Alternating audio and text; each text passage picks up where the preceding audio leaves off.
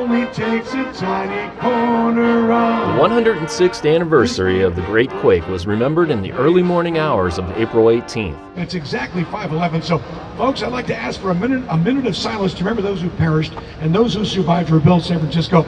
Let's just have a, a moment of silence for a minute right now.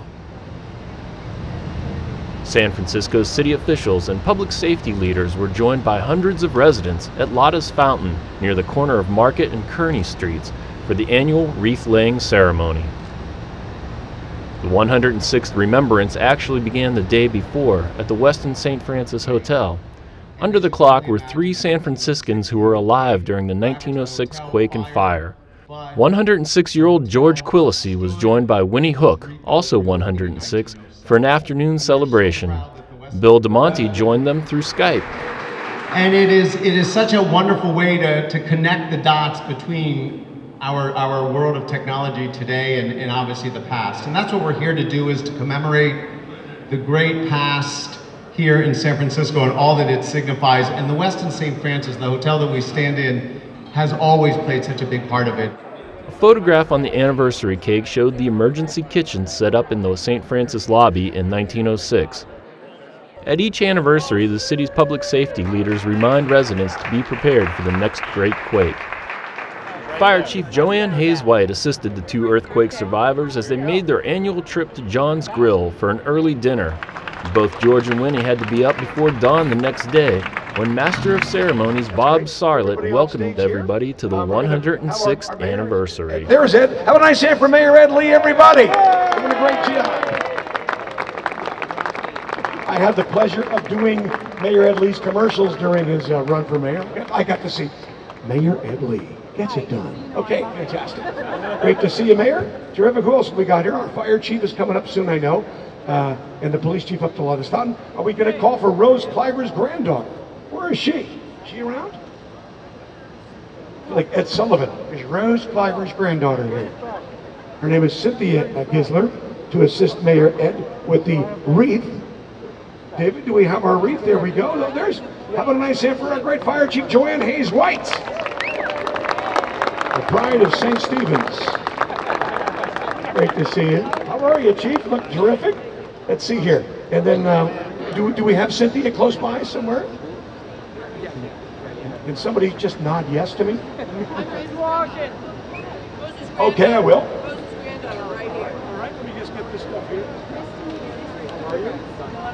This is daughter Rose. How are you today? You're good to see you here. And uh, we'll pass the mic to the mayor here for a couple of quick words. We have uh, our fire chief, our police chief, and our sheriff. I'll, I'll, I will get to that. Uh, but first, a couple of words from the mayor. How was it this morning, Ed? Nice to see you. Bob, thank you. Good morning, everyone. Good morning. Wow, wonderful turnout here. 106 years since our 1906 earthquake, and it's a wonderful tribute. Thanks, everybody, for coming out. Thanks to our chiefs, our director of Department of Emergency Management, Anne Kronenberg, and her son are here this morning. Thank you. A grandson. All right. All right. We got our interim sheriff here, Vicki Hennessy, joined us. Scott Wiener is here from our board. Scott's the only guy from the board awake. This morning, right? All right. Yes, and we do have the granddaughter? Yes. Yes, of Rose Clyburn. She was with us in 2009.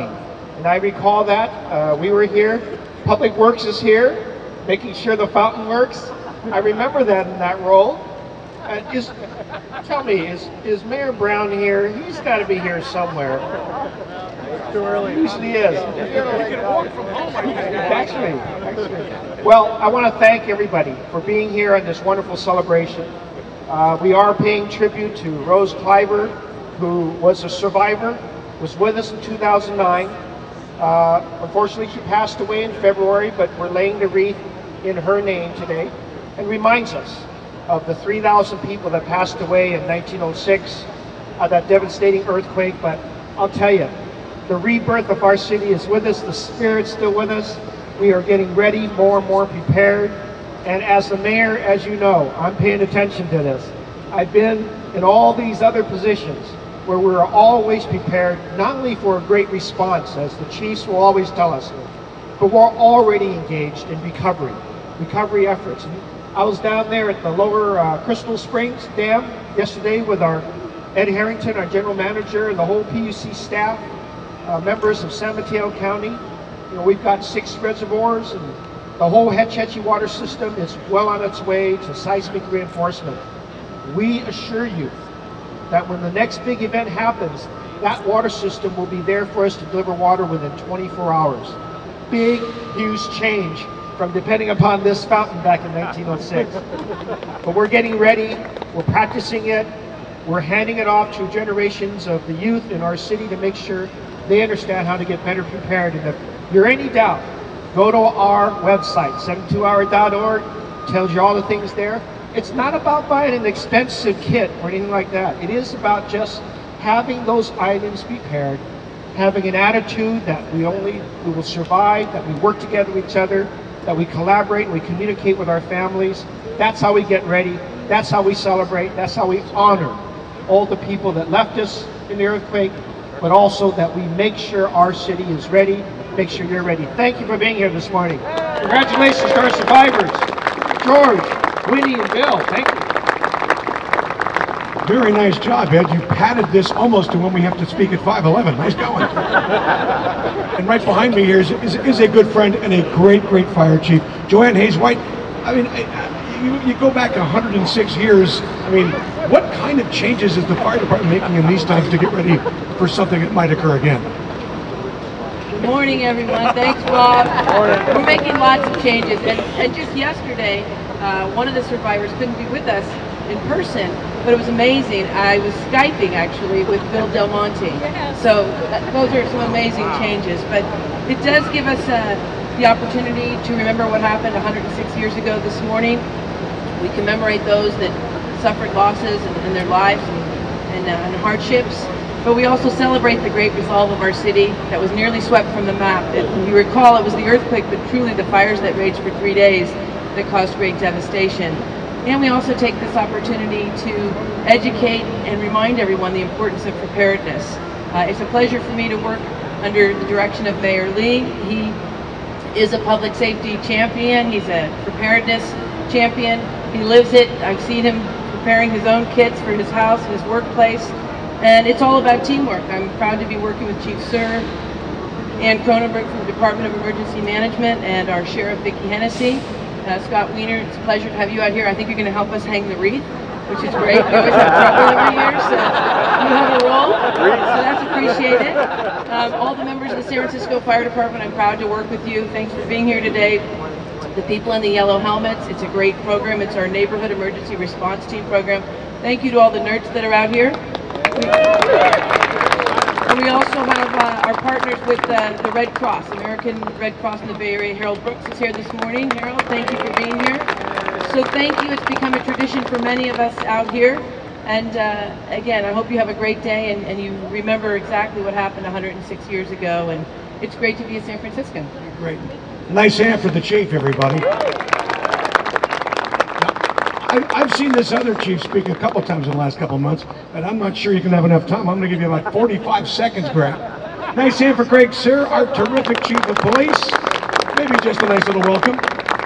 I'll just say good morning. I think our, our, spectacular fire chief said it. We're lucky to have her. And again, we, we, we're lucky in San Francisco. We have a mayor who, as he said, he moved all through the chairs of preparedness and Ann's got us ready to go, and we get a little more prepared every day. So uh, God bless to the survivors and 106 years. It is unbelievable. Great. Thank you, Chief. I, I think we back timed that pretty well. I got it.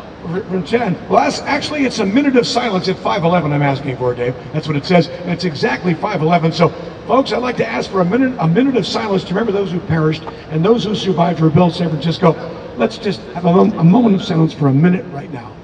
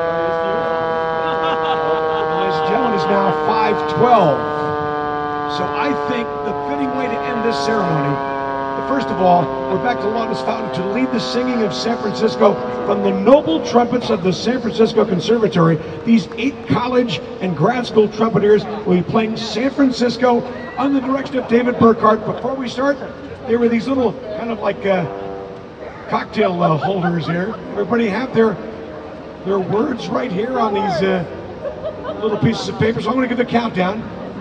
As we hang the wreath, I'm going to give you guys a count here. You ready? Have a look at me. One, two, three, four, one. Only takes a tiny corner of this weeping world to make the place you love. My home upon a hill, I find I love you still. I'm here no way but back to tell you. San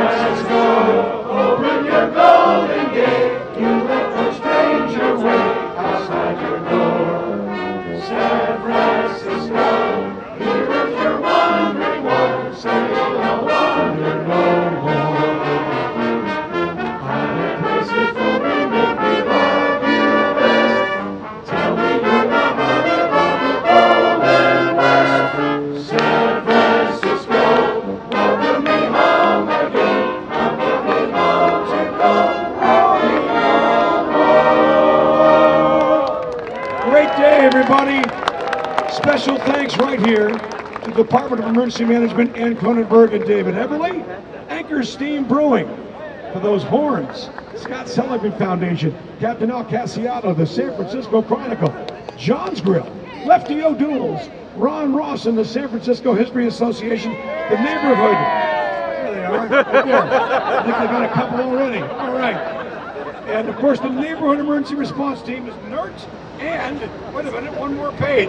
The American Red Cross and Donna Lillie Coit Huggins for once again making this happen. I want to invite everyone to go to 20th and Church to the Golden Hydrant painting or walk directly to Lefty O'Doul's for the 6 a.m. start of the annual Survivor Bloody Mary breakfast where we will all meet up and who knows, we may skirt the law and serve something before 6 a.m. I won't ask great, sir. Yes. Oh, the bookmobile. Okay. Where are they? Right over here?